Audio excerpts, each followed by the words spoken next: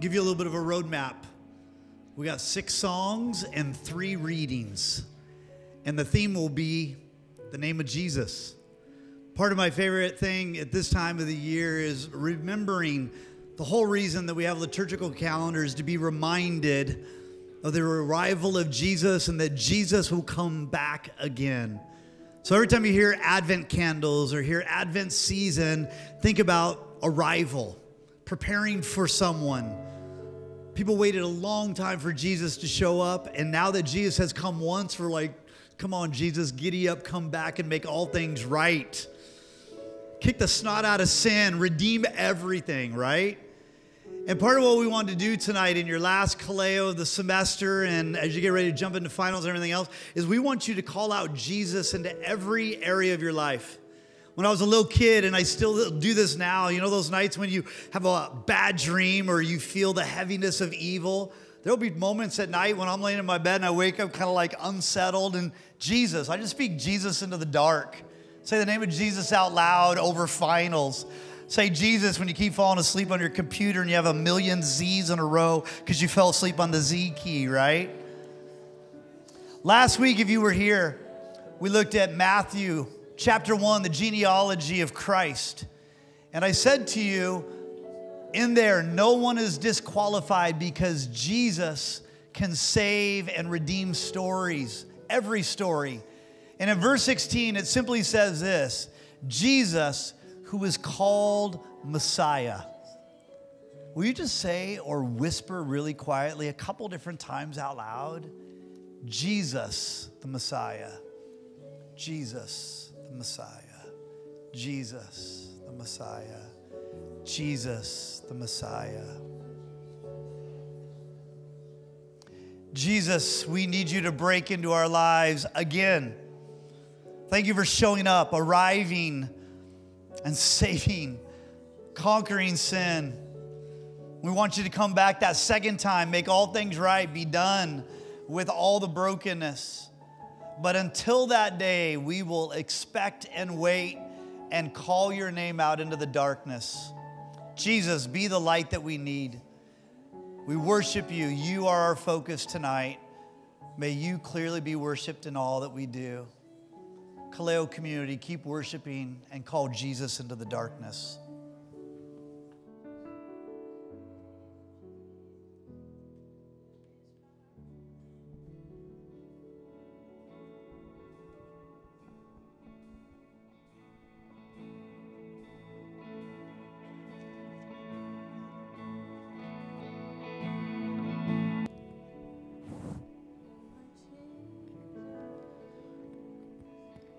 What we want to do is continue to worship through scripture and to have a chance to exhale for a little bit and remember what it was like to hear that someone was arriving. And so, for the next two songs and the next two readings, we'd love to invite you to sit and take a deep breath. And the band will invite you back up as uh, they sing the next two songs and you hear another reading. But we asked Sierra if she would just read out of Luke chapter 2 to remember what it was like to hear that Emmanuel, God with us, was going to change everything. Thanks for reading scripture. Luke 2 8 through 20. And there were shepherds living out in the field nearby, keeping watch over their flocks at night. An angel of the Lord appeared to them, and the glory of the Lord shone around them, and they were terrified. But the angel said to them, Do not be afraid. I bring you good news that will cause great joy for all the people. Today in the town of David, a Savior has been born to you. He is the Messiah, the Lord. This will be a sign to you. You will find a baby wrapped in clothes and lying in a manger. Suddenly, a great company of the heavenly host appeared with the angel, praising God and saying, Glory to God in the highest heaven, and on earth peace to those on whom his favor rests. When the angels had left them and gone into heaven, the shepherds said to one another, Let's go to Bethlehem and see this thing that has happened, which the Lord had told us about. So they hurried off and found Mary and Joseph and the baby, who was lying in the manger.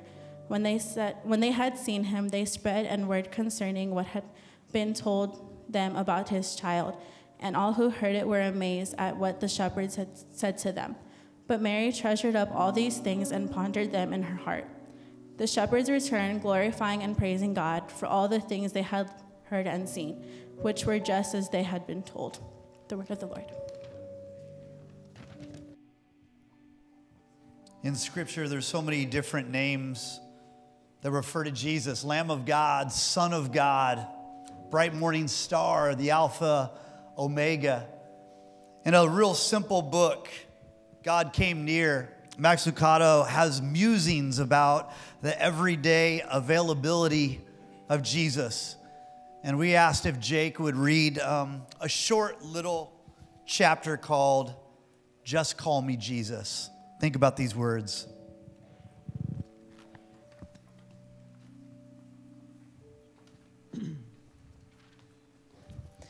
There are many names in the Bible to describe our God, but none that capture his humanity quite like the name Jesus.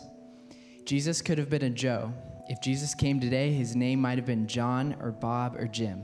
Were he here today, it is doubtful he would distance himself with a lofty name like Reverend Holiness Angelic Divinity III. No, when God chose his name, when God chose the name his son would carry, he chose a human name. He chose a name so typical that it would appear two or three times on any given class roll. The Word became flesh, John said, in other words. He was touchable, approachable, and reachable. And what's more, he was ordinary. If he were here today, you probably wouldn't notice him as he walked through a shopping mall. He wouldn't turn heads by the clothes he wore or the jewelry he flashed. Just call me Jesus, you can almost hear him say. He was the kind of fellow you'd invite to watch the Rams Giants game at your house. He'd wrestle on the floor with your kids, doze on your couch, and cook steaks on your grill. He'd laugh at your jokes and tell a few of his own, and when you spoke, he'd listen to you as if he had all the time in eternity. And one thing for sure, you would enjoy him. It is worth noting that those who knew him best remembered him as Jesus. The titles Jesus Christ and Lord Jesus are seen only six times. Those who walked with him remembered him not with a title or designation, but with the name Jesus. Think about the implications.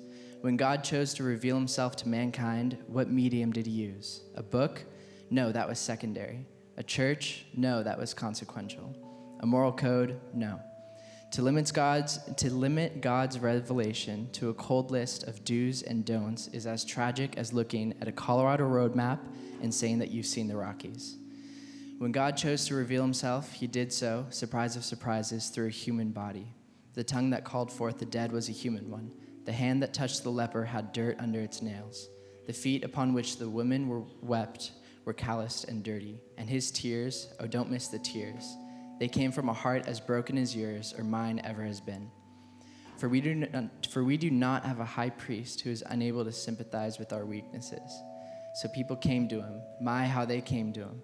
They came at night, they touched him as he walked down the street, they followed him around the sea, they invited him into their homes and placed their children at his feet. Why? Because he refused to be a statue in a cathedral or a priest in an elevated pulpit. He chose instead to be Jesus. There is no hint of one person who was afraid to draw near him. There were those who mocked him, there were those who were envious of him, there were those who misunderstood him, there were those who revered him. But there was not one person who considered him too holy, too divine, or too celestial to touch. There was not one person who was reluctant to approach him for fear of being rejected.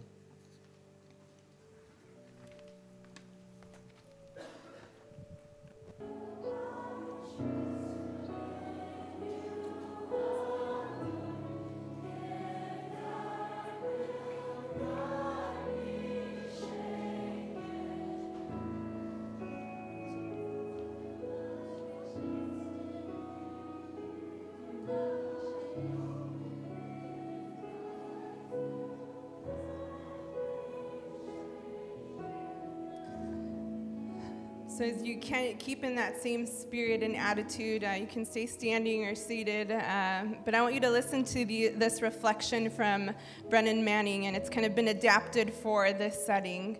So you can close your eyes or you can read along on the screen. Uh, so listen to this, and it'll be kind of pausing in between. So, who is this Jesus of Nazareth?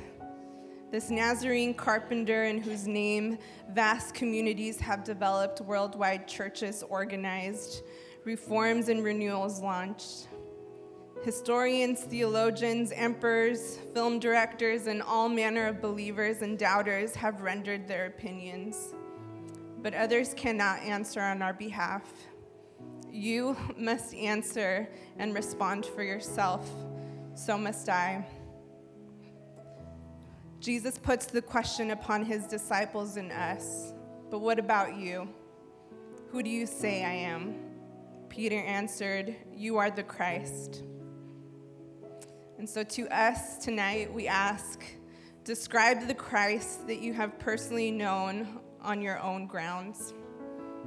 Describe him as you would to a friend over coffee. Describe not who or what you have heard about him, but only the Christ you have encountered. And so, as we continue in worship and into this next song, I invite you reflect honestly on what your own answer reveals to you. Who is this Jesus of Nazareth?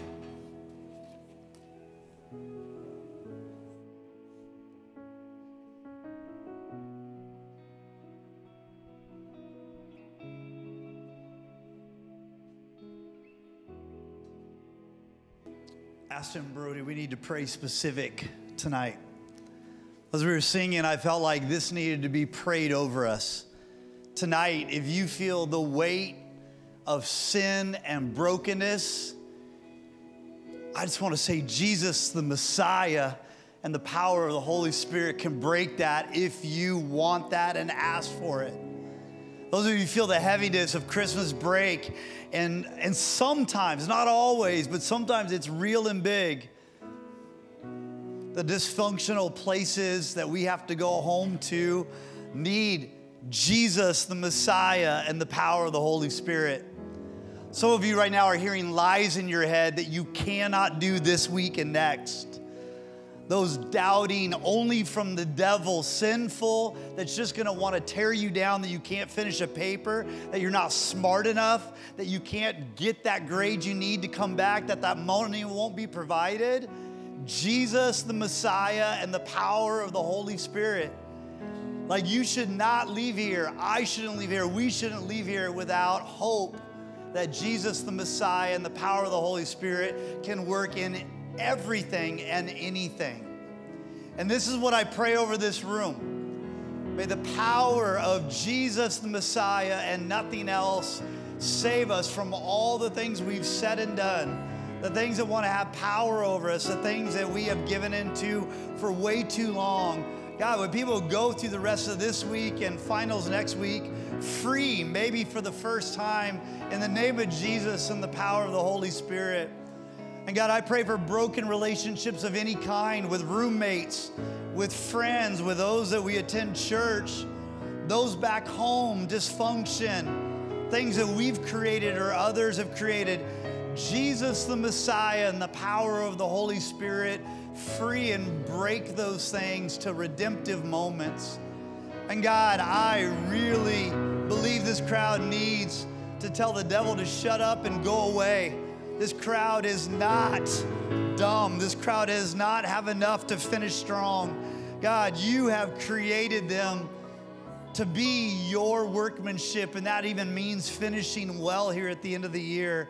So, Jesus, the Messiah, and in the power of the Holy Spirit, would you give them the strength that only comes from an almighty God? God, would every student in here leave with hope, I pray. And if they need to stay and worship more, or ask a friend to pray over them, help them not hesitate. And God, if they need to just fall on their knees tonight and beg you for the strength, forgiveness, or hope that only you can bring, would they do that? Be with those that need to slip out and be with those that need to stay. May you be glorified as we continue to worship and sing.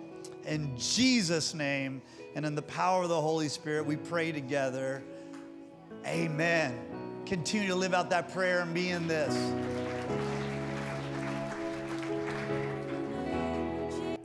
God, I just pray for any of us in here who are struggling with uh, anxiety, depression, insecurities, God, um, fear, doubt. God, just show yourself in all of that. because you are so much greater, God.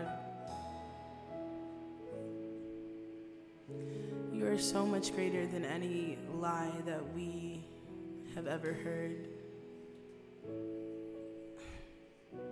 You're just so good, God. Just be with us within uh, these next few days and during finals week, God. Um,